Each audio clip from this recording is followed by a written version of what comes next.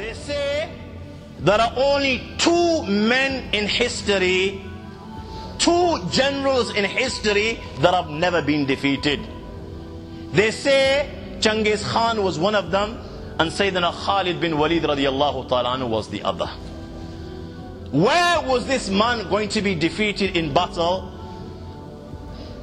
As whenever he participated in battle and fought in battle, he would have with him the blessings of Rasulullah sallallahu alaihi wasallam. Battle of Yarmouk, and Khalid bin Walid radiallahu ta'ala anhu looks worried. And this surprises his companions because they had never seen Khalid in a state like this before. And Khalid tells them to look for his red cap which he has lost in the battlefield.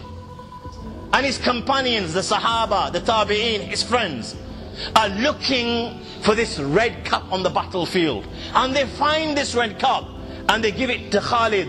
And there's a smile on Khalid's face. His, his face begin, uh, has lit up. And his friends asked, those that didn't know, Oh Khalid, what is so special about this red cap? That today you jeopardized our lives on the battlefield. And Khalid bin Walid radiallahu ta'ala said, When my beloved Nabi, Muhammad sallallahu alayhi wasallam in Hajjatul Wida, had his head shaved, I came to Rasulullah sallallahu wasallam and I took some of the blessed hair of Rasulullah sallallahu wasallam from him.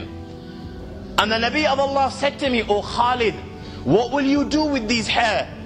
And I said, Ya Rasulullah, I will gain strength from them when I fight the enemies of Allah. And the Nabi of Allah said to me, O Khalid, you will remain victorious as long as these hair remain with you.